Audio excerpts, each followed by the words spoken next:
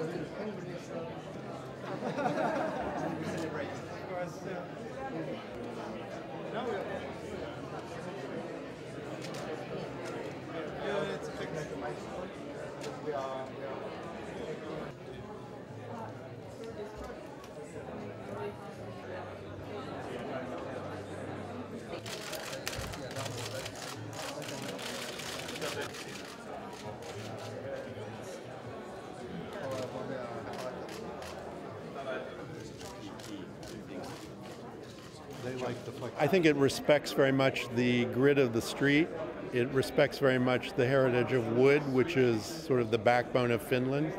It has an intimate relationship with the sea, which is the other side of the Finnish nature. And finally, this tower offers a kind of frame for Senate Square. And I think people can look onto this great 19th century and 20th century city with a new appreciation. In the end, the winner was uh, this scheme out in the city of Moreau. Uh, well, if you look at the image the, uh, of the project, it's not clear if it's coming out from the park and the woods or it is coming in from the water. So it's, it's as if it already was here. And I think that's super interesting to make a project that looks like it belongs in Finland and yet is also new.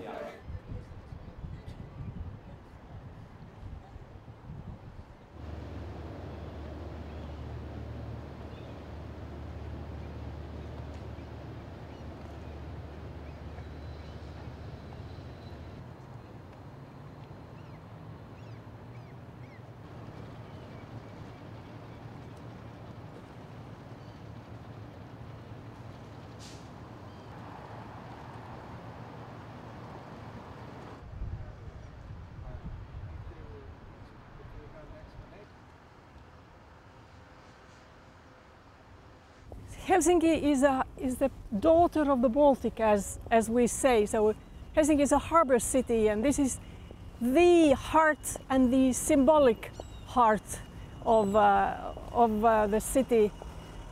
It's extremely unfair because the city would be paying everything, not only the construction of the building, but of course giving free this very precious site and paying for all the costs, for the personnel costs and maintaining the building, which would be minimum 7 million euro annually to the city budget. At the time where we are cutting from, from everything else.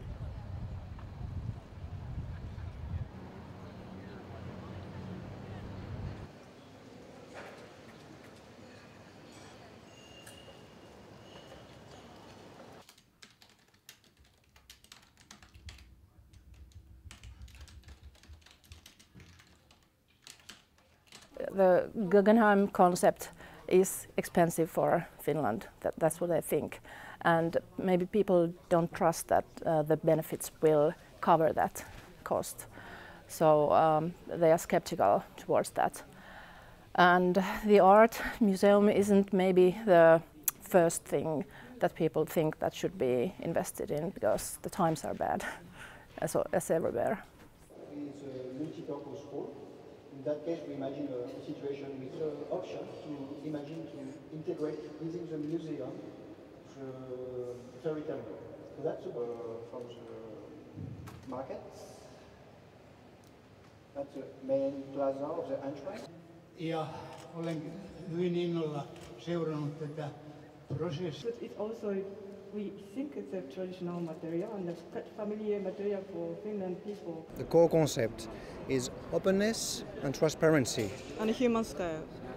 It's also about how to connect the city and the museum itself. That's why we call it like art in the city. I think this is a great, great honor and great opportunity for Helsinki to get this Guggenheim uh, Museum here. I hope they will go forward.